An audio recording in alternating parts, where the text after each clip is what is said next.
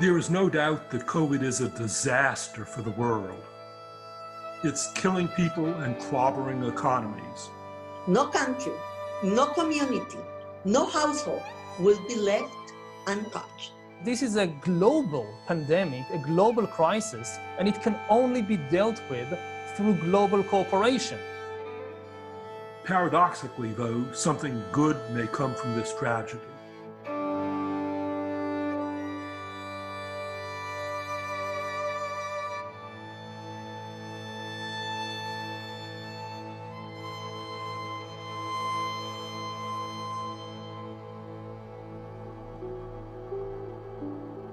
The COVID 19 crisis could be a really watershed moment, a moment of significant change in the history of surveillance because surveillance is being revolutionized, transformed from over the skin surveillance to under the skin surveillance.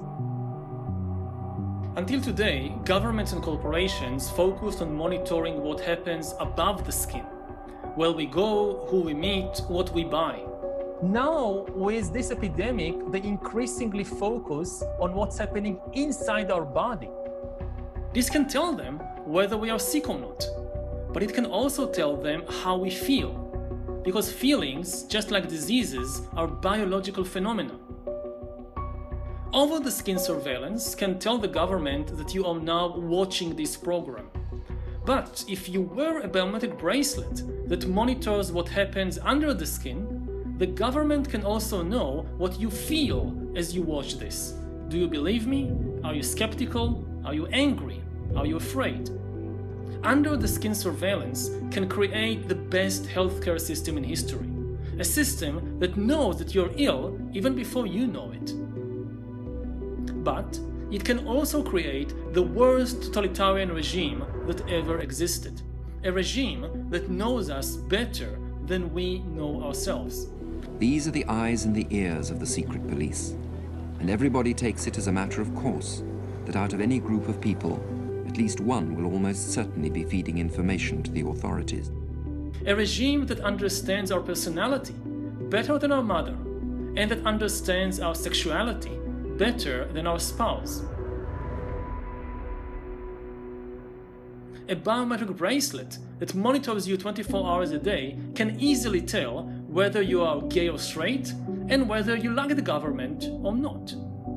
Of course, all this is not inevitable. Technology isn't deterministic. Whether such a totalitarian regime is created depends on the decisions we make in the next few years. I hope we all make the right decisions.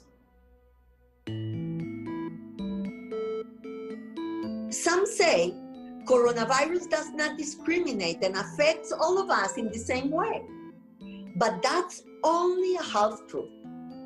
People suffer and recover differently because of persistent inequalities in the world. The so called middle income countries will be especially hard hit. These countries represent a third of the planet's gross product. 75% of the world population and 62% of its poor.